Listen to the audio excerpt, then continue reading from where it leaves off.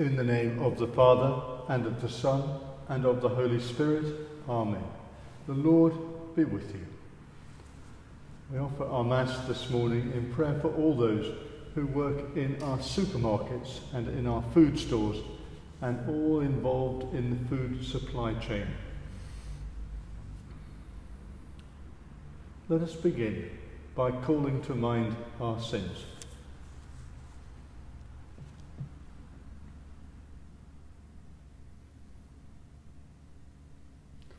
Lord Jesus, you raise the dead to life in the Spirit. Lord, have mercy. Lord Jesus, you bring pardon and peace to the sinner. Christ, have mercy. Lord Jesus, you bring light to those who walk in darkness and the shadow of death. Lord, have mercy. May Almighty God have mercy upon us, forgive us our sins, and bring us to everlasting life. Amen. Let us pray. Enlighten, O God of compassion, the hearts of your children, sanctified by your penance, and in your kindness grant those you stir to a sense of devotion, a gracious hearing when they cry out to you. We make this prayer through Christ our Lord. Amen. A reading from the prophecy of Daniel. King Nebuchadnezzar said, Shadrach, Meshach, and Abednego, is it true that you do not serve my gods, and that you refuse to worship the golden statue I have erected? When you hear the sound of horn, pipe, lyre, trigon, harp, bagpipe, or any other instrument, are you prepared to prostrate yourselves and worship the statue I have made? If you refuse to worship it, you must be thrown straight away into the burning fiery furnace. And where is the God who could save you from my power? Shadrach, Meshach, and Abednego replied to King Nebuchadnezzar, Your question hardly requires an answer. If our God, the one we serve, is able to save us from the burning fiery furnace and from your power, O king, he will save us. And even if he does not, then you must know, O king, that we will not serve your God or worship the statue you have erected. These words infuriated King Nebuchadnezzar. His expression was very different now as he looked at Shadrach, Meshach, and Abednego. He gave orders for the furnace to be made seven times hotter than usual and commanded certain stalwarts from his army to bind Shadrach, Meshach, and Abednego and throw them into the burning fiery furnace. Then King Nebuchadnezzar sprang to his feet in amazement. He said to his advisers, Did we not have these three men thrown bound into the fire? They replied, Certainly, O king. But he went on, I can see four men walking about freely in the heart of the fire without coming to any harm. And the fourth looks like a son of the gods. Nebuchadnezzar exclaimed, Blessed be the God of Shadrach, Meshach, and Abednego. He has sent his angel to rescue his servants, who, putting their trust in him, defied the order of the king and preferred to forfeit their bodies rather than serve or worship any god but their own. This is the word of the Lord. The response to the canticle To you glory and praise for evermore. To you glory and praise for evermore. You are blessed, Lord God of our fathers blessed your glorious holy name. To you, glory and praise for evermore. You are blessed in the temple of your glory. You are blessed on the throne of your kingdom. To you, glory and praise for evermore. You are blessed who gaze into the depths. You are blessed in the firmament of heaven.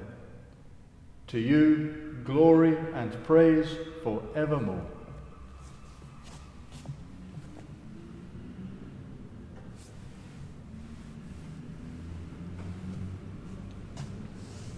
Praise to you, O Christ, King of eternal glory.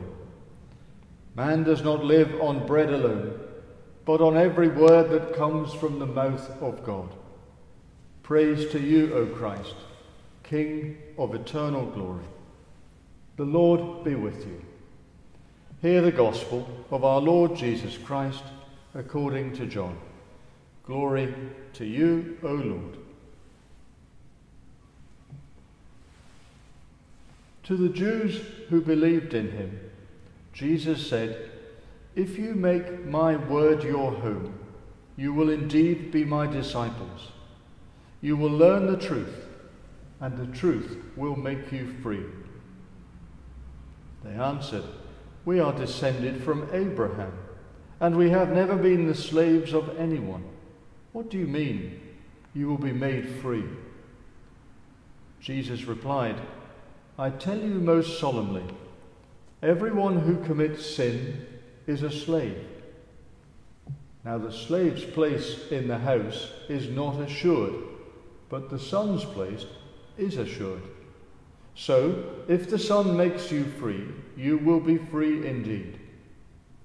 I know that you are descended from Abraham, but in spite of that, you want to kill me because nothing I say has penetrated into you. What I, for my part, speak of is what I have seen with my Father. But you put into action the lessons learned from your Father. They repeated, Our Father is Abraham. Jesus said to them, If you were Abraham's children, you would do as Abraham did. As it is, you want to kill me when I tell you the truth, as I have learnt it from God. This is not what Abraham did. What you are doing is what your father does. We were not born of prostitution, they went on. We have one Father, God. Jesus answered, If God were your Father, you would love me, since I have come here from God. Yes, I have come from him. Not that I came because I chose. No, I was sent, and by him. This is the gospel of the Lord.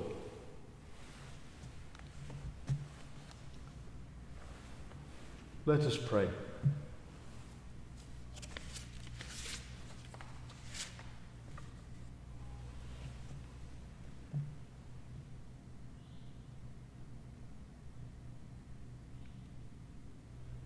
Let us pray for all those who work in our supermarkets and food shops,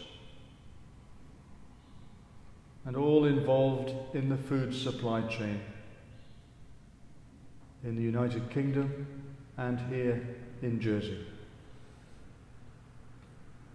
Let us thank God for the tireless efforts of so many people to keep food on the shelves of our shops and to ensure that no one goes hungry.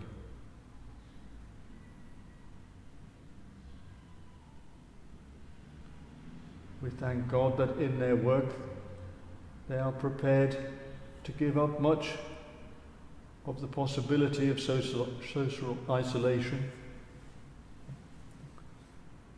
as they come close to many members of the public day by day putting their own safety to one side for the good of others. And as we pray for them, let us ask that God will bless them in their work and grant them a sense of fulfillment and a sense of true value. Lord, in your mercy, hear our prayer. Let us hold before the Lord all those on our hearts today.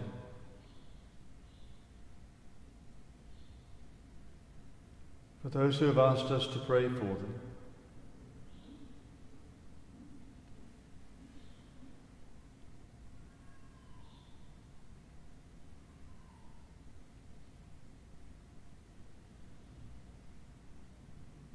Pray especially for those who are anxious and distressed at this time for those who are lonely, for those who are frightened.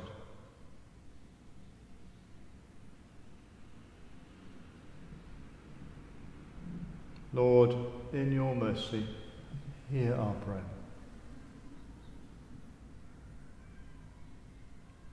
Let's pray for those who are sick. All those many thousands suffering from COVID 19.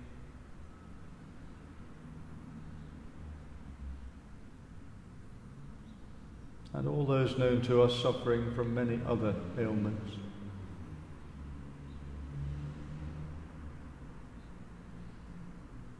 We ask that all those who suffer in any way at this time may be filled with the knowledge of the love of the Lord and his abiding presence. Lord, in your mercy, hear our prayer. Let us pray for the souls of those who have departed this life.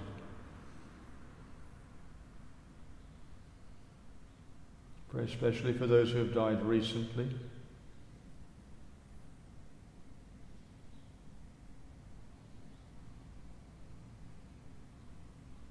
And we pray too for those of our own families whom we love but see no longer.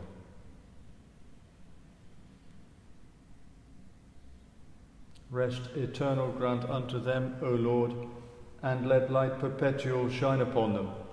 May they rest in peace. Amen.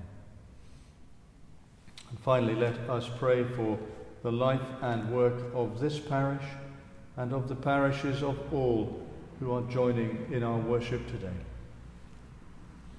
God our Father, through your Holy Spirit, you grow your church as we proclaim the kingdom of your risen Son. Bless us with deepening faith and an increase in our community. Help us to be a beacon of your love to everyone we meet. We ask this through Jesus Christ our Lord. Amen. Merciful Father, accept these prayers for the sake of your Son, our Saviour Jesus Christ. Amen. May the peace of the Lord be always with you.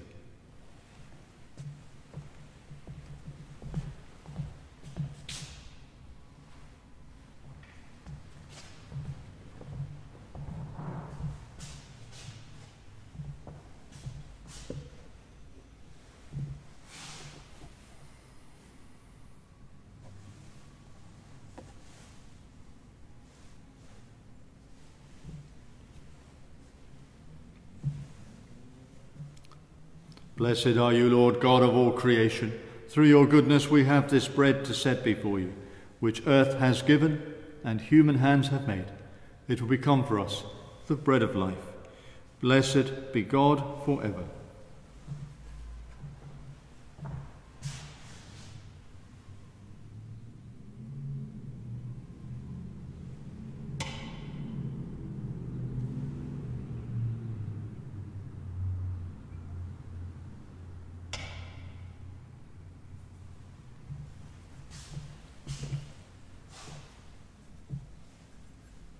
Blessed are you, Lord God of all creation. Through your goodness we have this wine to set before you, fruit of the vine and work of human hands. It will become our spiritual drink. Blessed be God forever.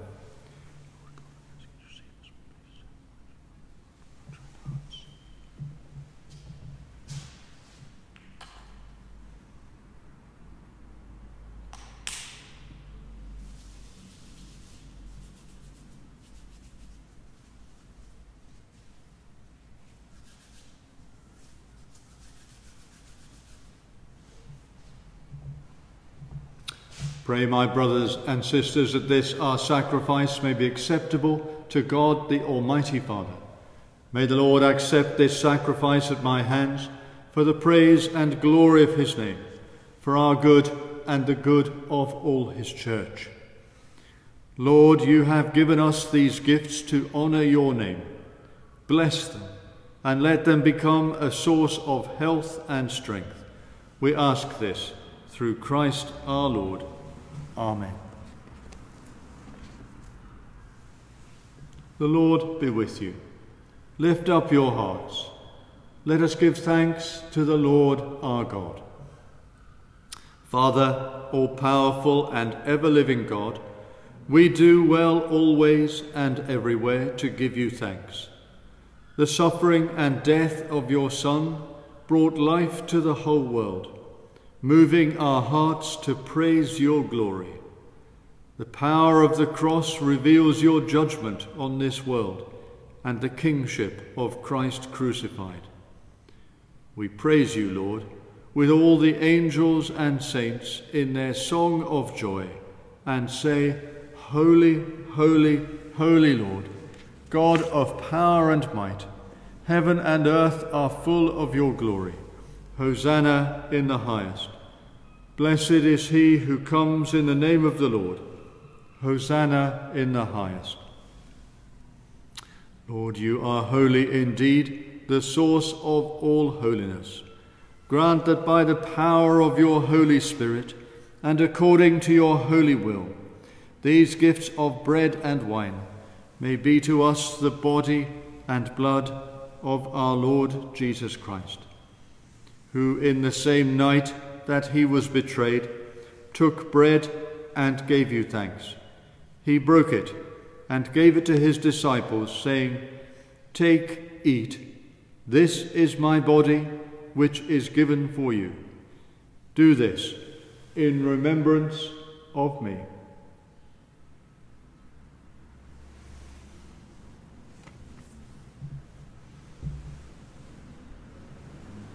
In the same way, after supper, he took the cup and gave you thanks.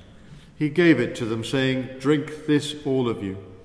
This is my blood of the new covenant, which is shed for you and for many for the forgiveness of sins. Do this as often as you drink it, in remembrance of me.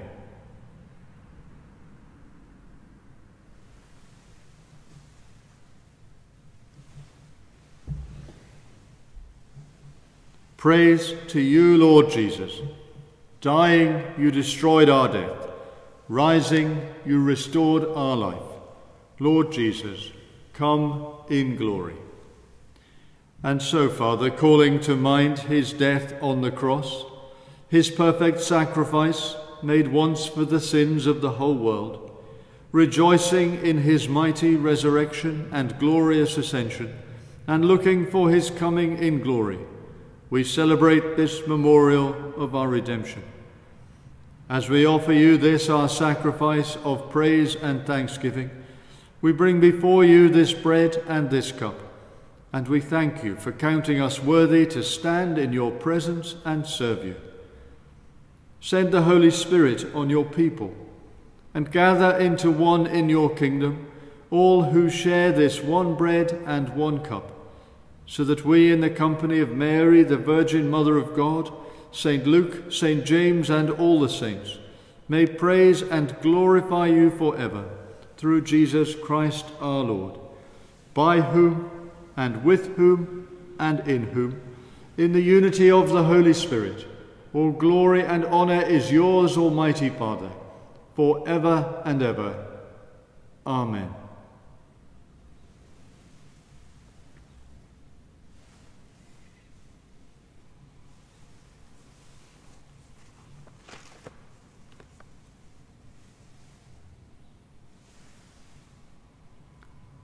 Jesus taught us to call God our Father, and so we have the confidence to pray, Our Father, who art in heaven, hallowed be thy name. Thy kingdom come, thy will be done, on earth as it is in heaven. Give us this day our daily bread, and forgive us our trespasses, as we forgive those who trespass against us. And lead us not into temptation but deliver us from evil. For thine is the kingdom, the power, and the glory, for ever and ever. Amen.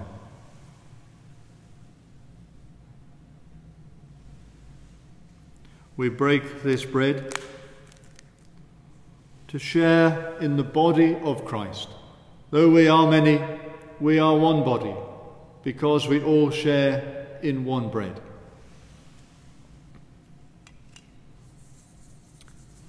Jesus, Lamb of God, have mercy on us. Jesus, bearer of our sins, have mercy on us.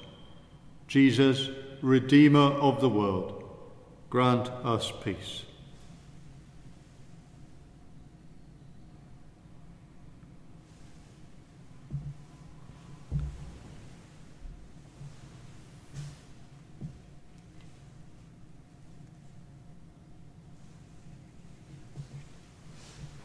This is the Lamb of God who takes away the sins of the world.